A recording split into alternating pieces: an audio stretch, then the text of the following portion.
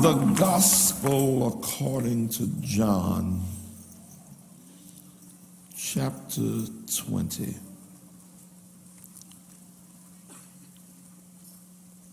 And as you know, we do read from the authorized King James Version. Um, no reflection on the other versions, but we use them mostly for study. But in our worship setting, we all try to be with one accord in reading the uh, old King James, not New King James. And if you have that, I want you to read with me John chapter 20, beginning with verse 19. And um, we'll go through verse 23. You have that, say amen? Come on, let's read it aloud together. Then the same day at evening, being the first day of the week, when the doors were shut where the disciples were assembled for fear of the Jews, came Jesus and stood in the midst and said unto them, Peace be unto you. And when he had so said, he showed unto them his hands and his side. Then were the disciples glad when they saw the Lord. Then said Jesus to them again, Peace be unto you. As my Father hath sent me, even so send I you. And when he had said this, he breathed on them and said unto them, Receive ye the Holy Ghost. Whosoever sins ye remit, they are remitted unto them. And whosoever sins ye retain, they are retained. We'll stop at this point. I want you to pay particular attention to uh, what the Lord said uh, to them uh, in verse 21, well, verse 22. And when he had said this, he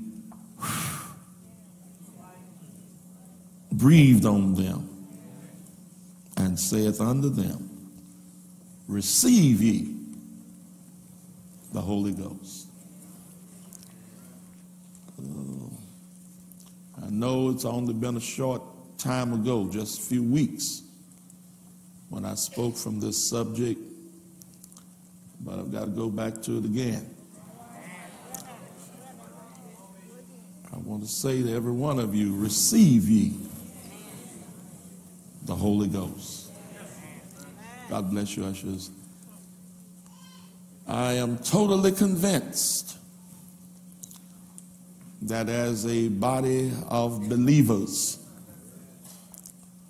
that we will never be the people whom God would have us to be until we are not only people believing in Jesus Christ, but we must also be believers who are filled with the Holy Ghost. It's what makes the difference. There are a lot of people who are alive as you go through some of the nursing homes and some hospital rooms, and even in some homes. You have people that are yet alive, but they themselves hardly know they are alive. They're just lying there. Some because of uh, Alzheimer's, mentally they are no longer competent. Sometimes because of debilitating physical diseases, they're there and they're not able to move, but they're alive. Why am I saying this? I'm not going to tell you that if you have embraced Jesus as Lord and Savior, You have believed on him, you have confessed him, and according to Romans chapter 10, once you believe and confess, that's what brings about salvation.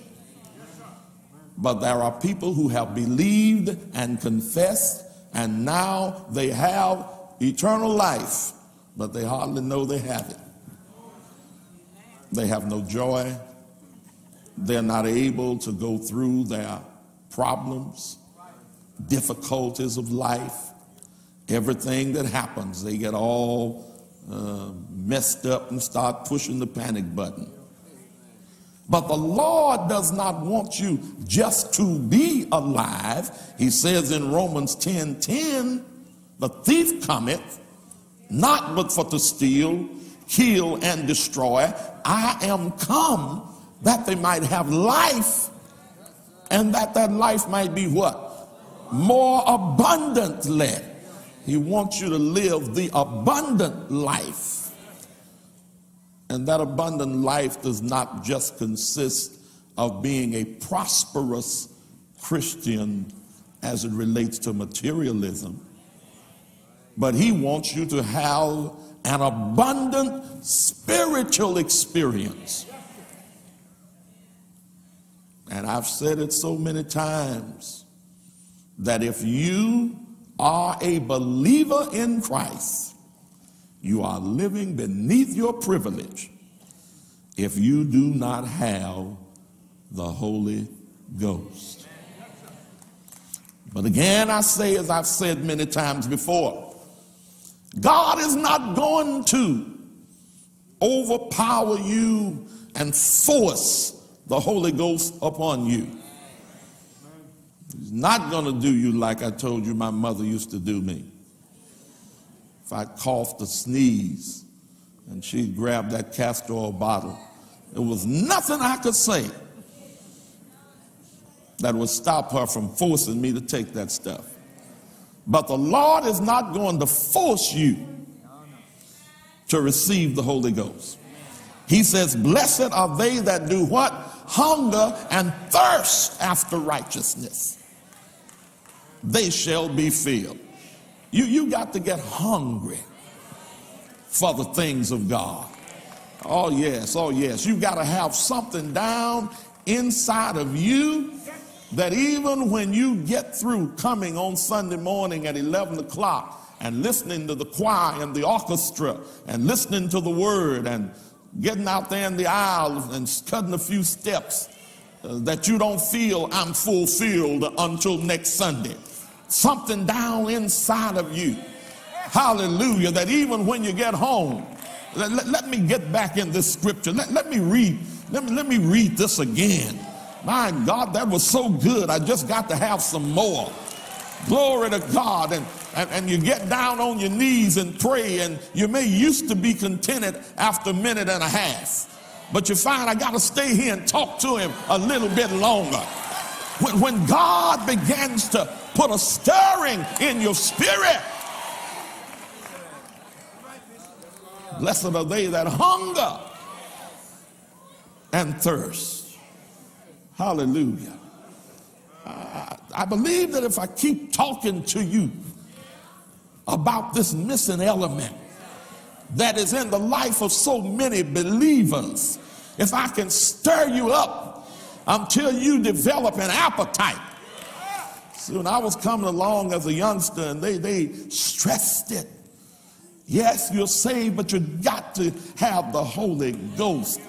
And we'd have long revivals, sometimes two and three weeks. I remember one that I conducted right here at the other building that lasted something like the better part of three months. When you really get hungry, oh, glory to God, you can be ever so tired voice may be so hoarse you can hardly talk, but you just want to get in the company of people that are calling on Jesus. And there's something about it when you really get hungry. The world doesn't have much to offer you then. Doesn't matter who they tell you is performing at the casino. I don't care who's performing at the casino. Uh, I know Jesus is performing down at the church. I know all I got to do is get with one or two saints. And whatever I need is there to quench my thirst. Jesus, in today's text, had just come out of the grave that day. Now, if you don't believe it, just look back to verse 1 of chapter 20. It says, The first day of the week cometh Mary Magdalene early when it was yet dark unto the sepulchre and seeth the stone taken away from the sepulchre. And it goes on to talk about what happened. And you can read straight on through until you get to verse 19. And it says, Then the same day, at evening. And there's not a, a, a, flipping of the calendar anywhere between verse 1 and verse 19. The only thing is, it starts off the morning of his resurrection.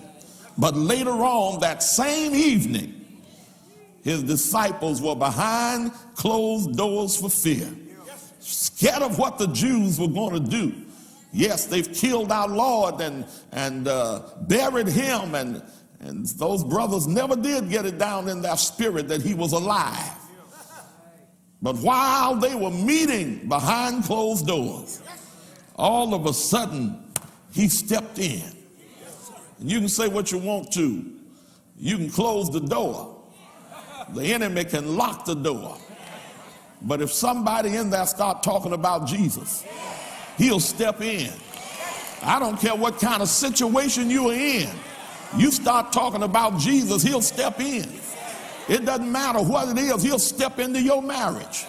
You think it's over, but he'll step in and bring that thing back together. He'll step into your mental condition. Hallelujah. When you find that you're not thinking like you ought to. And while others are saying, yes, they, they, they've hit that early senility, they've gone into that early Alzheimer's. But I'm here to tell you that if you can refocus your mind, he said, Thou will keep him in perfect peace, whose mind is stayed on thee because he trusted in thee. Touch somebody and tell him he'll step into any situation. Hallelujah. While they were behind closed doors for fear, Jesus stepped into their midst. And the words that he said is, Peace be unto you. What a day. What a day of confusion. What a day of frustration. The world seemingly is more confused now than it has ever been. Everybody is talking about, I'm under stress. Everybody is stressed out. Problems everywhere. Now that the communication highway is open and everything now is revolving around the, the internet, the World Wide Web. And now they discovered somebody in China that jammed up the web and uh, pirated so many people's names and credit card numbers, and you, you just don't, everything is confused. Jesus told us from the beginning in this world, you're going to have tribulation, you're going to have trouble, you're going to have confusion. But he said, Be of good cheer. I've overcome the world. Yeah, you live on the world, the ram, you're going to live in confusion. But if you want power over this confused world, you got to hear Jesus speaking in your spirit, saying, Peace. Glory to God, like he did with the troubled waters. The water was dashing in the boat. Peter and the disciples got upset, but when they woke up Jesus, he stood up, looked out at the wind, and said, Peace down at the waters, be still. Wind stopped blowing and the troubled waters stopped jumping in the boat. I don't care what the confusion is that's in your life. I declare he can say peace. And when he said peace, everything has to be still. Ah. Thank you, Lord. Thank you, Lord. Can't you hear him now telling you, speaking to your situation?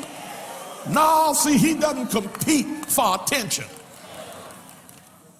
When the prophet Elijah needed to talk to him, he thought surely he was in the storm. Surely he was in the whirlwind. Surely he was in all of the noisy stuff. But when God finally spoke, he just whispered in a still small voice. You upset about something? Quit trying to hear God competing. You just get somewhere and steady yourself. I declare in the quietude and the peace of your mind, he'll say, Peace. Be still. Sit down, y'all. I ain't ready to go that way. Now, when he said peace, said, I want, I want to show you something so you'll have no mistake of who I am. He showed him his hand and his side. In other words, so you'll know I'm the same one that's been keeping company with you the last three and a half years. Look at my hands and look at my side. And that's why I don't even worry about all of these false messiahs. Because when he comes back, right now he's seated at the right hand of the Father. But when he comes back, won't nobody have to introduce me to him? Won't nobody have to tell me I got to buy, buy an airline ticket to go over to Egypt or go to Jerusalem or anywhere else? Said when he comes, it's going to be like the lightning streaking across the sky. You're going to know he's here. And when he stops in midair, and the magnetism of his presence will cause graves to burst open, then we which are alive and remain will be changed in a moment, in a twinkling of an eye. And I won't have to ask Peter to introduce me to him. I shall know him. As redeemed by his side, I'll stand. I'm going to know him because even when he come back, he's going to still have the prints of the nails in his hand.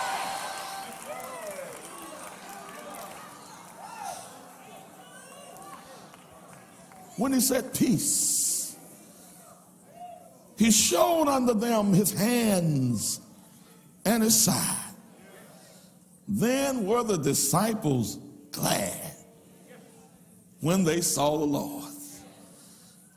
Then said Jesus to them again, Peace be unto you, as my Father hath sent me, even so send I you. And then he did something that, even when I first started as a teenage preacher, I found hard to understand. He didn't just tell them, now you fellas go back to the upper room and, and get the Holy Ghost, but he, he breathed on them and said, receive ye the Holy Ghost. That thing troubled me for years. Why, why, why would he breathe on them? In John chapter 14, 15, and 16, he had talked to them about what the Holy Ghost would do, that it would bring all things back to their remembrance, that he would be their guide, that he would be their teacher, that he would testify of Jesus Christ. But yet he breathed on them. And I later understood that the breathing on them was symbolic. Now, much of what takes place in Christianity is symbolic. Next Sunday, right here at the 11 o'clock hour, we'll again share our Lord's body and blood in Holy Communion. Yes, we refer to the unleavened bread as the Lord's broken body. But you know, in reality, it's not his body, it's a symbol of his body. We'll drink from that uh, cup of non fermented grapes.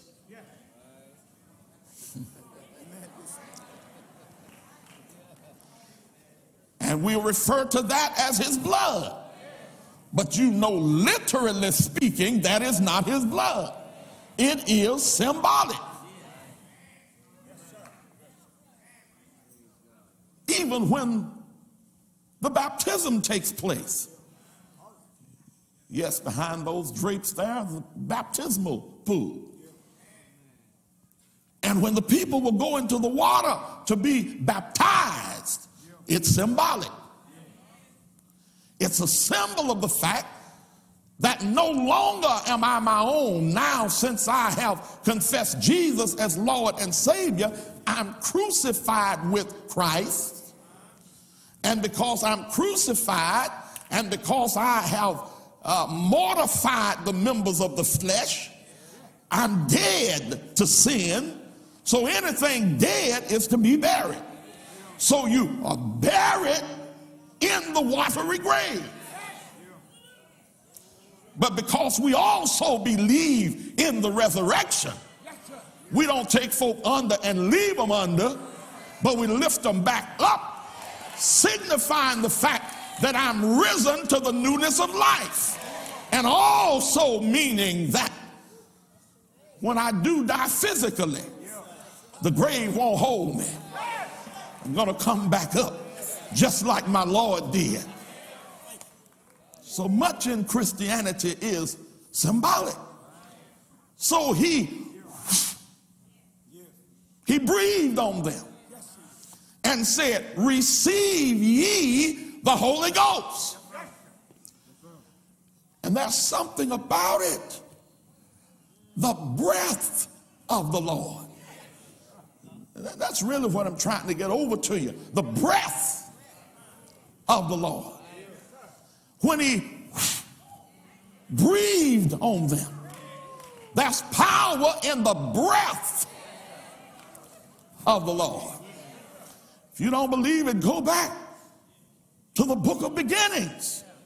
Go back to Genesis. God, after he had created everything in the first five days, on the sixth day, he made man. I never will forget my dad, the late Bishop W.A. Patterson, used to say uh, that God made man on the sixth day, last. If he'd made him earlier, man would have probably been standing around trying to tell God how to make everything else. So he put everything else in the earth first. Then on the sixth day, he made man. How? He formed him from the dust of the ground. Formed him. The torso, the legs, the arms, the head. Shaped him in his own image. There a man stands like a department store mannequin. Everything in place, but he didn't have any life. Formed and he had hands, had a head, had feet, everything perfectly formed, but there was no life until God breathed into his nostrils the breath of life, and then man became a living soul. Don't underestimate the power of his breath. Follow me to Ezekiel. You know the story in the 37th chapter of Ezekiel? Story goes that two armies had collided together in battle. Each side had so many casualties. But all of a sudden, for some reason, they quickly retreated didn't take the time to bury their dead. Thousands are lying in the open valley. The buzzards had picked the flesh. Jackals walking through had scattered the bones.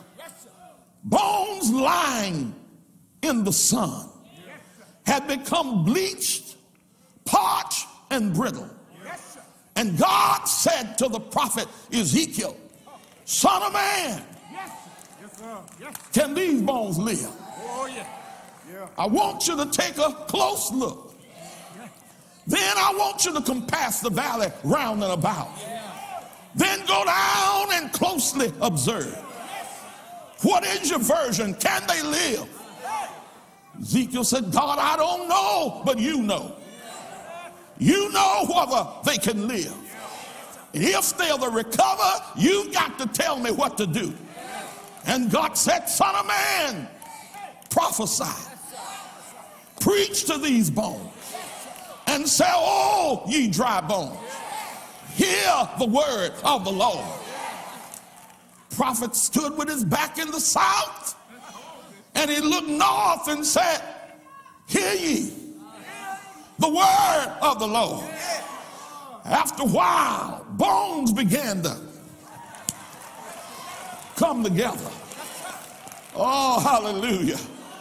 You know, they said the toe bone connected to the foot bone, and the foot bone to the ankle bone, and the ankle bone to the leg bone, the leg bone to the knee bone, the knee bone to the thigh bone, and come on up, and it connected with, with the spine, and on up till it connected with the head bone and the shoulder bone, and everything got together. And whenever the church gets out of order, God made you to be a little joint of the little finger. And you laying up there by the skull trying to be the head. All you got to do is hear the word of the Lord. And everybody will get back in their own place.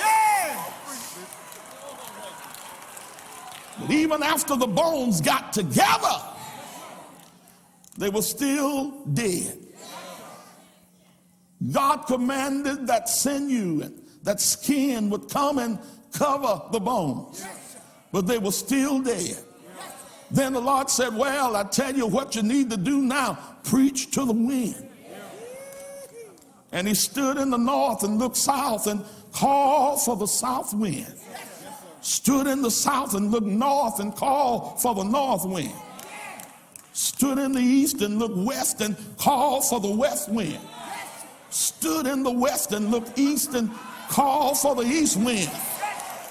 And I hear him say to the wind, Blow upon these bones that they might live. And even though the bones were standing up, they didn't have no life until the wind began to blow. The Lord told his disciples, Now I've already given you my word. I've already given you power against unclean spirits. I've already given you power to cast demons and devils out. But I want you to have witnessing power. Want you to have power that'll be stability power. I want you now to go back to the upper room and receive ye the Holy Ghost. If he hadn't breathed on them, they really would not have known when the Holy Ghost arrived. Because the baptismal measure of the Holy Ghost had never been given. True prophets, holy men, spake as they were moved by the Holy Ghost. True that Elizabeth was filled with the Holy Ghost when the unborn Jesus met the unborn John the Baptist. True John was full of the Holy Ghost from his mother's womb, but the baptismal measure had not been given. If you don't believe it, look at John chapter 7, down around verse 37. In the last day, that great day of the feast, Jesus stood and cried, saying, Anyone thirst, let him come to me and drink. Hallelujah. And he that believeth on me, as the scripture hath said, out of his belly shall flow rivers of living water. But this spake he of the Spirit. In other words, when he talked about living water, he wasn't talking about formula H2O but he was talking about the Spirit, which they that believed on him would receive at a later date. So since the baptismal measure had never come, the disciples didn't know what they were looking for. So they went into the upper room. And in chapter 1 of Acts, they held an election to elect Matthias, who would take the place of Judas. But even though they held an election, the Holy Ghost didn't come. Hallelujah. Ten days later, feel my help now.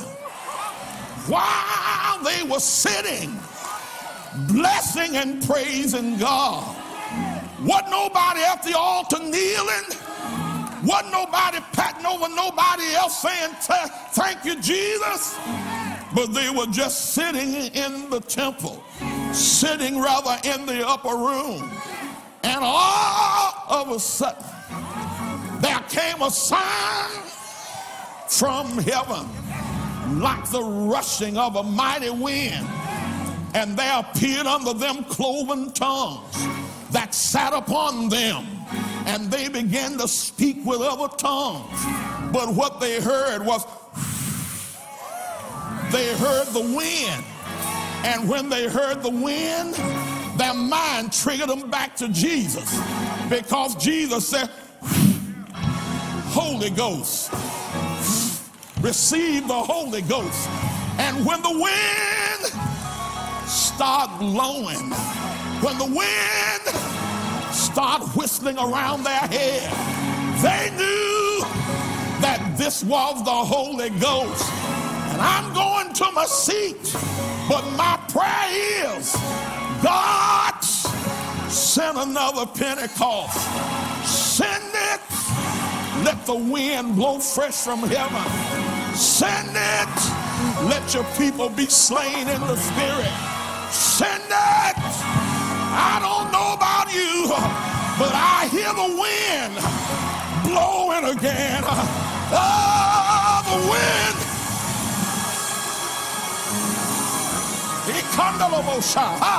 Hallelujah. I hear it in the air. Jesus wants his church to be filled, baptized with the Holy Ghost. Time out for playing. You need something that's real. Ah, it's real.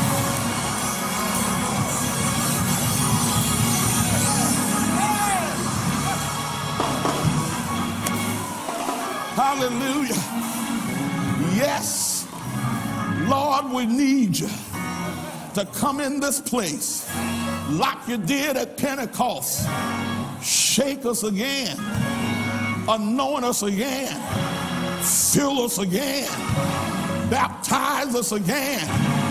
Yeah, yeah, yeah. We can't make it without you.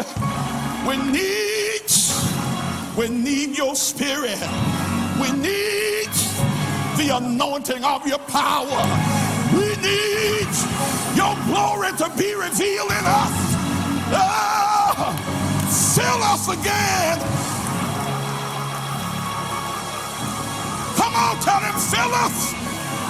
Fill us. Fill us.